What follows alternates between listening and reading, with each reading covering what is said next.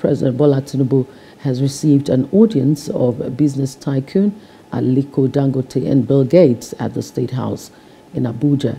The visit was part of the Gates Foundation's commitment to working closely with communities and leaders to support innovation.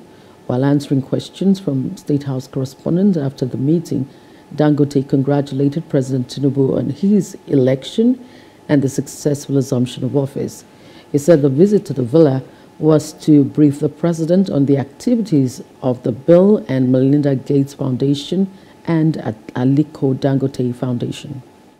It was a courtesy call. We came in for myself and my friend Bill Gates to uh, congratulate him once more for his uh, successful election uh, into uh, this office and also to brief him of what Bill and Melinda Gates Foundation and Aliko Dangote Foundation we've been doing in Nigeria and also committing to do more and to help uh, you know Nigeria uh, so that our health sector will keep improving which will turn out to be better for the whole citizens of the country. Nigerians have been getting quite a lot. All what they have to uh, start expecting is to expect more. We expect more from the government in terms of cooperation and we'll also do more on our side.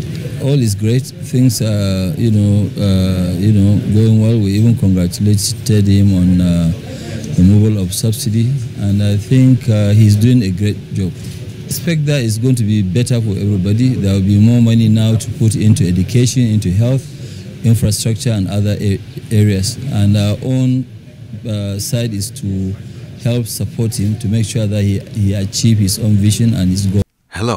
Hope you enjoyed the news. Please do subscribe to our YouTube channel and don't forget to hit the notification button so you get notified about fresh news updates.